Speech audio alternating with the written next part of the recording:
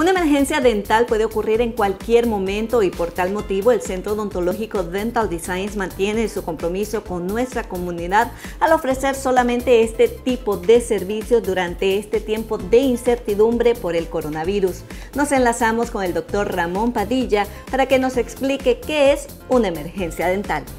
Una emergencia dental, como todos sabemos, es algo que esté causando algún síntoma o ya sea un abultamiento en la cara. Ya se puede ser por una infección, eh, por algún síntoma que hayamos tenido por mucho tiempo y que tiene alguna urgencia para ser tratado.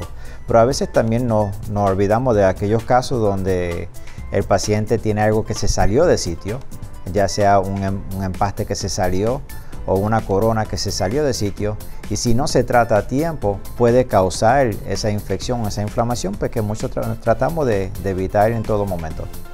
¿Y qué es lo que debemos y no debemos hacer durante este tiempo si presentamos una emergencia y no hay oficinas dentales abiertas?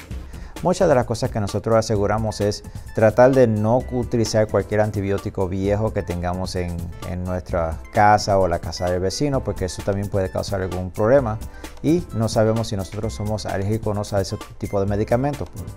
Lo otro es poder comunicarse con su clínica ah, o dentista que lo haya, lo haya visto eh, quizá en poco tiempo, pues ya tienen un récord de ustedes y quizás se puedan comunicar a través del teléfono para tratar de contestar cualquier pregunta pertinente en cuanto a la emergencia que tenga la persona en ese momento, para que tan pronto nos permitan poder dar servicios, estar listo para ustedes y se pueden comunicar con nosotros a las oficinas en Naples o Fort Myers al 239-628-1300 o en